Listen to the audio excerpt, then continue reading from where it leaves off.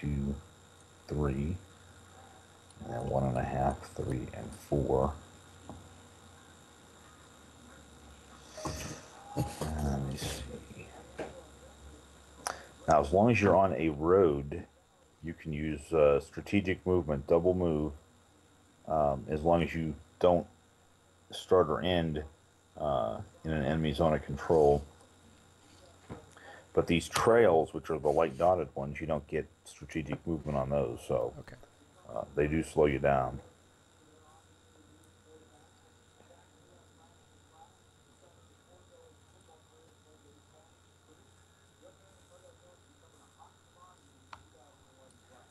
That's going to be one and two. One, one and two.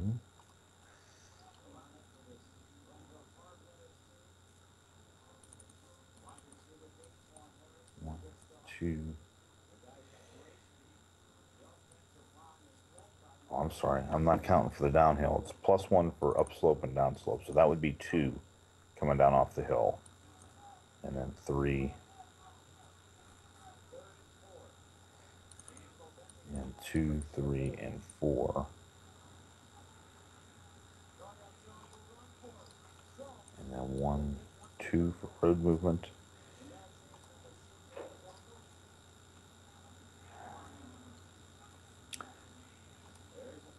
Wayne is going to get Froggy and cross the creek. So it's plus one across the creek. And the heavy woods is one and a half, so it's basically two and a half to get there, three and a half, four to get there.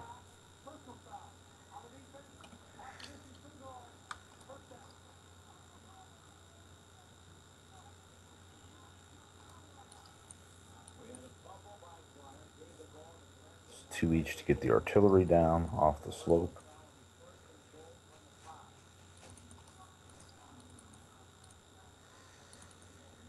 Ah, Let's see.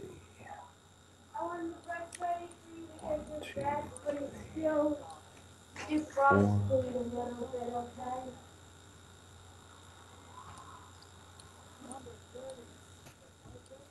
you have there's the one more thing you need to be. Oh wait, I got to move uh, Washington. I guess I should probably do that.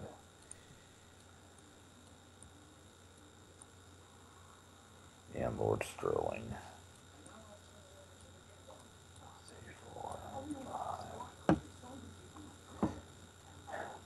Okay, so you've got defensive artillery.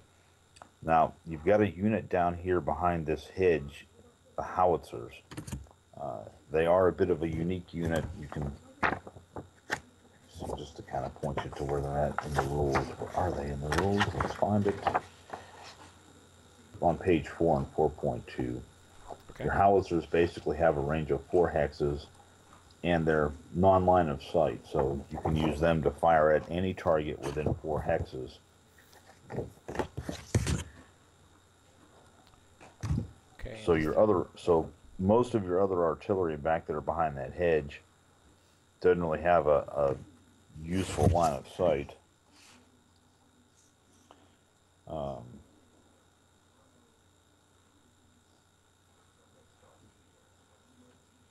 no flint Grey, you've got an artillery unit there, and he does have, it looks to me, a line of sight to uh, at least the Glover's Brigade.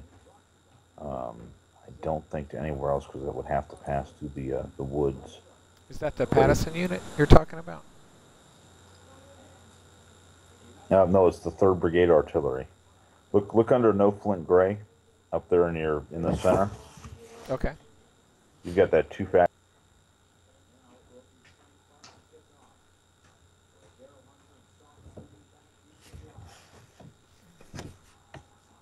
So he does have a line of sight to Glover's brigade.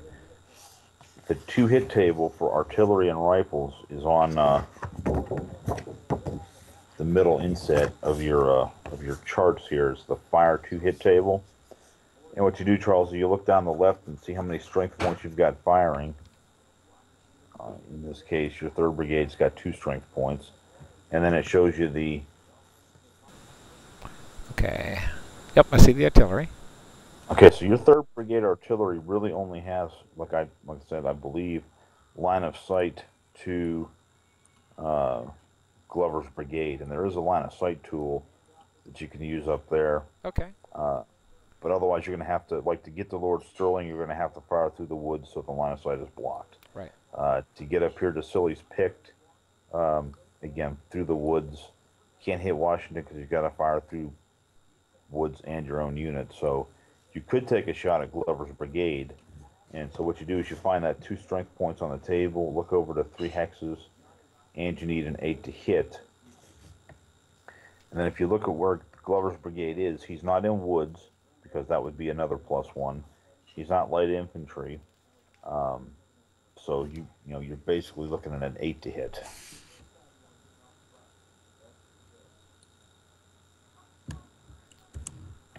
Okay. Now the sequence of play.